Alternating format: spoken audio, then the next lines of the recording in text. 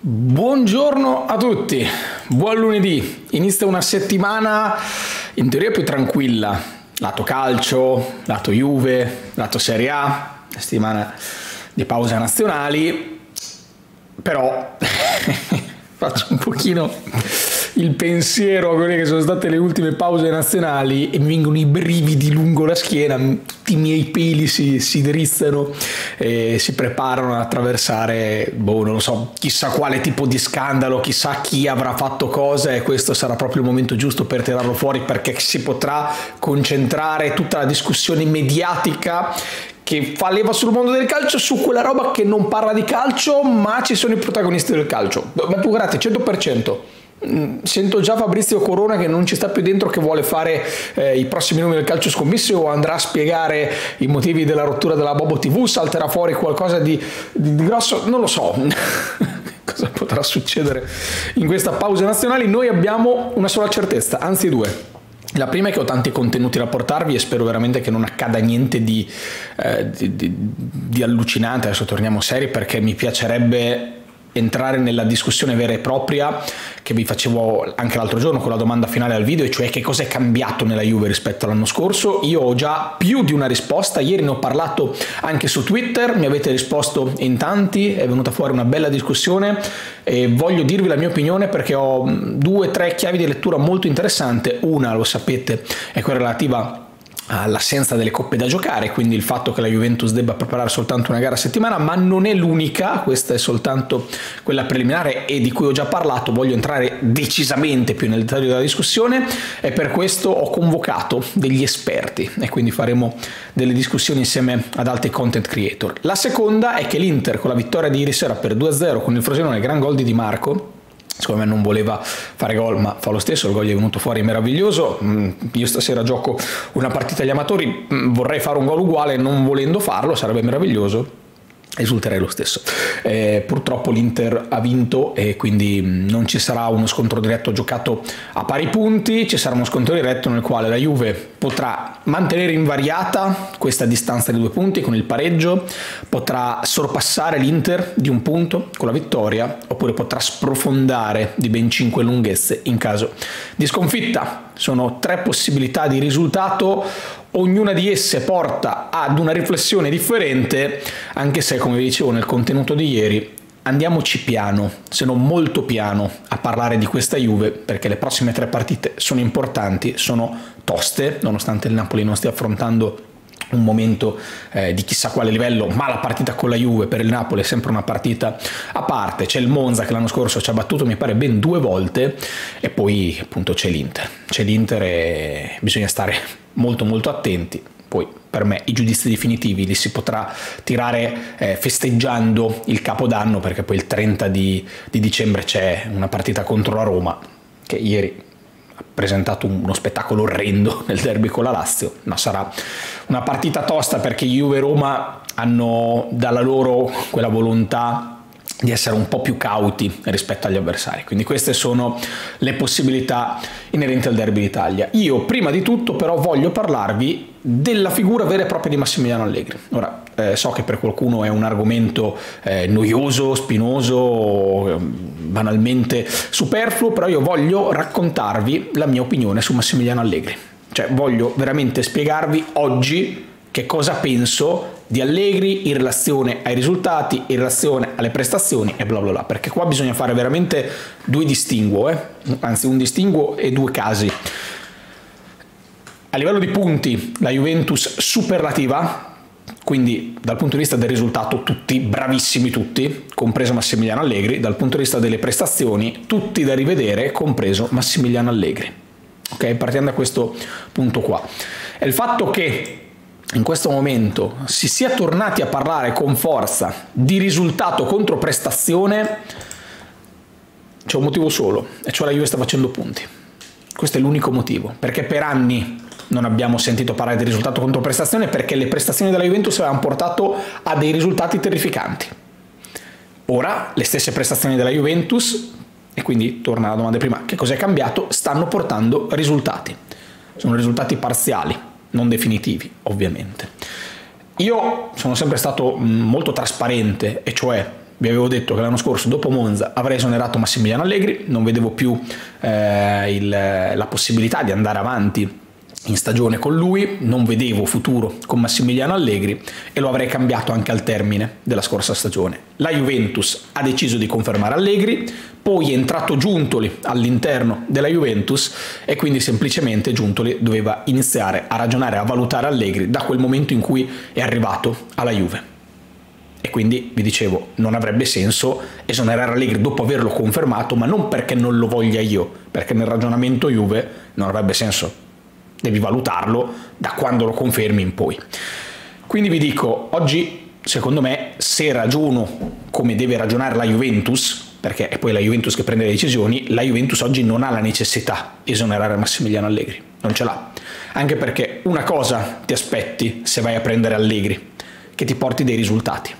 Attenzione, lo voglio dire ancora una volta, oggi non ci sono risultati cioè questa classifica in cui la Juventus è a meno 2 dall'Inter, che come dicevamo prima è meravigliosa, sono stati bravissimi tutti a conquistarla, a costruirla, non è che vale 0, va nemmeno di 0, perché è una classifica parziale. Cioè, non è finito il campionato oggi, non sei arrivato eh, a meno 2 dalla squadra che ha vinto lo scudetto se sarà così poi ne parleremo, ma io ho ben chiara già la mia situazione in testa, perché tante volte eh, la gente mi chiede ma se Allegri dovesse vincere lo scudetto lo riconfermeresti?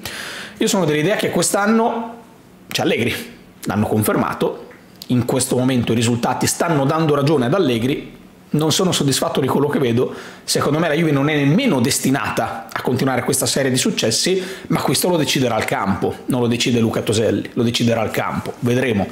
Secondo me c'è modo anche diverso di raggiungere quei risultati, però Allegri li raggiunge così. Lo sappiamo e lo sapevamo da quando è stato selezionato Allegri come nuovo allenatore della Juventus. Non ha funzionato, ora sta funzionando, vedremo se funzionerà. E questo è il punto. E questo è il punto. Perché poi Allegri, oltre a questa stagione, avrà un ultimo anno di contratto. Quindi la Juventus su Allegri dovrà iniziare a ragionare sia in caso di vittoria, sia in caso di sconfitta, sia in caso di arrivo a due punti dalla prima, sia in caso di quinto posto. In ogni caso la Juve su Allegri deve ragionarci, eh? Cioè Allegri arriva al 30 giugno 24 e poi al contratto in scadenza al 30 giugno 25. Quindi che cosa vuoi fare?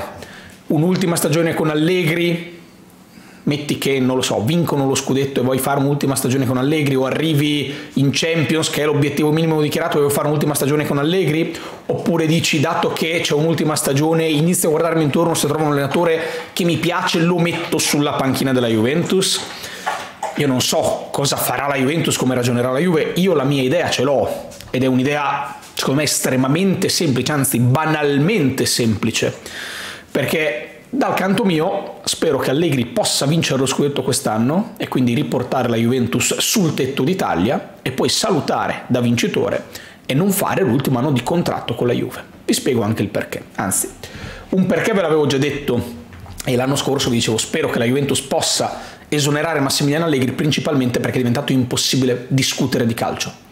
Cioè, ci avrete fatto caso benissimo quando si parla di Allegri, mezza parola a favore di Allegri, sei un allegriano, mezza parola a sfavore di Allegri, sei un anti-allegriano. Impossibile costruire, impossibile dialogare, impossibile chiacchierare. È tutto estremamente schematico, è tutto estremamente precostruito, si ragiona solo per preconcetti. E a me questa roba fa banalmente schifo. Ieri sera, dopo l'Inter, eh, che non ho visto, ero a casa di amici, eh, stavamo ascoltando la TV, è partito pressing mi, mi, bolliva il sangue, devo dirvi la verità, mi bolliva il sangue a vedere delle discussioni a volte anche così superficiali da parte di persone che, cavolo, hanno fatto per anni e sono convinto che possano dare decisamente di più di quella discussione lì, ma forse è più facile dare quella discussione lì. E mi dispiace tanto, mi dispiace veramente tanto perché? Perché qui su YouTube stiamo costruendo da ormai dieci anni, poi negli ultimi stiamo intensificando tanto proprio dei modi di comunicare differenti, più aperti al dialogo, al fatto che ci siano idee differenti e prendere il buono da ogni idea, rispettarle e discuterle. Quindi io sono fiero di noi, eh, della nostra community, di quello che stiamo facendo, vi faccio un grande applauso, grandi complimenti. La mia idea è molto semplice. è questa qua. In seconda battuta vi dico che l'altro motivo per cui spero che comunque anche in caso di scudetto poi la Juventus l'anno prossimo andrà a fare un'altra scelta al di là del fatto che banalmente dopo tre anni che vedi un tipo di calcio e magari un tipo di calcio che nemmeno ti convince il tifoso ha voglia della novità, cioè non prendiamoci in giro, l'essere umano è attratto dal nuovo e dal voler cambiare. Io faccio l'ipotesi che la Juve quest'anno vinca lo scudetto. Ipotizziamolo, no? Facciamo questa ipotesi. L'anno prossimo, perché vincere un conto e confermarsi un altro lo stiamo vedendo con Napoli-Milan, ma l'anno prossimo, quando poi ricomincerà il campionato, quale sarà la sensazione che avremo sulla Juve? Questa Juve nello specifico che magari vincerà lo scudetto, cosa che secondo me non succederà. Di una squadra che l'anno scorso ha dato tutto quello che poteva, un allenatore che ha utilizzato un metodo che solitamente non dà possibilità di replica se non in caso di rose estremamente più forti di quelle altre e che quindi che per ripetersi avrà necessità di compiere un vero e proprio miracolo. Vi faccio un esempio. Le ultime due squadre che hanno vinto sono Milano e Napoli, che in questo momento stanno avendo difficoltà. Però il Napoli, dopo aver vinto lo scudetto, ha cambiato allenatore. Ecco, il Napoli con Spalletti secondo me avrebbe avuto decisamente più possibilità di rivincere lo scudetto l'anno successivo rispetto al Milan di Pioli per quanto siano state sia il Milan che il Napoli due squadre che hanno vinto lo scudetto, per me non con la rosa migliore in Italia, perché comunque c'erano quelle di Juventus e Inter che orbitavano all'interno dei rispettivi campionati, il Napoli ti dava la sensazione di essere veramente una squadra compatta, che sapeva cosa fare, che abbinava una buona fase difensiva, una buona fase offensiva, e invece il Milan una squadra che aveva fatto veramente oltre le potenzialità e che se era arrivato a strappare quello scudetto all'Inter era perché ci aveva creduto fino alla fine, almeno questa è la mia lettura degli ultimi due scudetti, squadre che hanno meritato di vincere, perché sia Milan che Napoli hanno meritato di vincere il tricolore, ma sensazioni diverse, ti hanno lasciato quell'amarognolo differente, quel gusto differente in bocca, per quanto io mi sia divertito tanto a guardare le partite del Milan di Pioli l'anno dello scudetto, però il Napoli l'anno scorso era un'altra roba, era veramente la squadra che meritava vincere lo scudetto. Non tanto perché non c'erano altre competitor o antagoniste, ma perché si vedeva che era in grado di fare quel qualcosa in più. Quindi probabilmente il Napoli con Spalletti ancora in panchina quest'anno sarebbe stata una seria candidata molto più credibile rispetto al Napoli di Garcia. Poi, e dicevamo prima, vincere un conto, confermarsi è estremamente più difficile, magari alcuni calciatori si sono sentiti arrivati dopo uno scudetto, può essere, Assolutamente sì, però idealmente proprio dal punto di vista del costruito io la vedo così. Quindi anche vincendo uno scudetto quest'anno con questa Juve, con Allegri che continuerà magari ad andare avanti in questo modo e a fare dei punti, perché Allegri punti in Serie A sa farli. E non prendiamoci in giro. Questa è la storia che ce lo dice. E poche volte cambiando la sua mentalità, quindi magari la Juve vincerà lo scudetto quest'anno, non lo so, secondo me no, però metti che vincerà lo scudetto. L'anno prossimo è una serie di come ci ripresentiamo? Come una squadra credibile o poco credibile? Secondo me poco credibile, perché poi è la domanda che vi facevo all'inizio del video, che cosa è cambiato rispetto all'anno scorso, che oggi punti li facciamo e l'anno scorso no, ma dal punto di vista di quello che mettiamo in campo non sembra esserci tanta differenza. Che cos'è cambiato? Probabilmente, eh, adesso provo a dare una leggera spolveratina di quella che sarà la risposta perché la squadra ci crede molto di più, perché ci sono meno impegni, perché ci si tiene anche qualcosina in più, ci si tiene e quindi la squadra in questo momento sta raccogliendo. Non è la mia risposta definitiva, su questo farò un video a parte, però questi sono alcuni degli aspetti che devi mettere nel calderone. Quindi sarebbe bellissimo tornare a vincere, sarebbe bellissimo salutare Allegri con uno scudetto esattamente come era stato anni fa, anche perché Allegri in questo momento si è rovinato quella che è la sua immagine di vincitore, di, di allenatore vincente con la Juve, perché le ultime due annate sono state francamente inaccettabili, difficili da digerire per il tifoso. Quindi sarebbe per me meraviglioso vincere lo scudetto quest'anno e dirgli guarda Max, grazie all'ultimo anno di contratto non lo facciamo insieme perché abbiamo la volontà di cambiare e di arrivarci in un altro modo, eh, di costruire con un altro allenatore, di aspettare anche un altro allenatore come abbiamo fatto con te in tre anni che poi hanno portato lo scudetto. Bene, considerati libero, cercati un'altra squadra se la trovi bene e quindi puoi andare sulla panchina, se non la trovi ti pagheremo l'ultimo anno di contratto per stare a casa. Questo un po' secondo me eh, sarebbe il finale perfetto di questa stagione. Poi io devo dirvi la verità, spero di vincere lo scudetto, grandissimo sì, gigalitico sì, però spero anche di vedere delle prestazioni differenti perché eh, cavolo qua, se no bisogna farmi un controllino alle coronarie tutte le volte che, che giochiamo una partita perché soffriamo col Cagliari, soffriamo con la Fiorentina, soffriamo che con l'Ella se non la buttiamo dentro fino all'ultimo, cioè sono partite che alla fine finiscono e io prima della gioia ho l'ansia che, che sgorga, che dalla testa deve scendere fino ai piedi, poi quando l'ansia viene giù sono contento guardando la classifica ma non per aver vissuto quell'ora e mezza, due ore di partita perché sono stato catturato. Sono sincero, poi i risultati stanno dando ragione, meraviglioso, siamo a meno due dall'Inter e quindi il derby Italia diventa una partita fondamentale. Però poi bisogna vedere se quello che andremo a proporre in campo con l'Inter, dato che servirà qualcosa di più per forza di cose e fino adesso non lo stiamo provando qualcosa di più o almeno da Sassuolo in poi non lo stiamo più provando, non possiamo pretendere che sia un on-off e quindi magari con l'Inter provare qualcosa in più poi non ci viene, ah cavolo abbiamo perso perché non ci è venuto, sì perché non ci siamo allenati per farlo venire durante queste settimane perché abbiamo dato priorità a tutt'altro, quindi questi sono pensieri sparsi. Fatemi sapere un po' la vostra opinione qui sotto nei commenti. Volevo rispondere a questa domanda perché eh, ho sempre detto va bene, aspettiamo, va bene, aspettiamo, poi ve lo dico, vediamo se succede.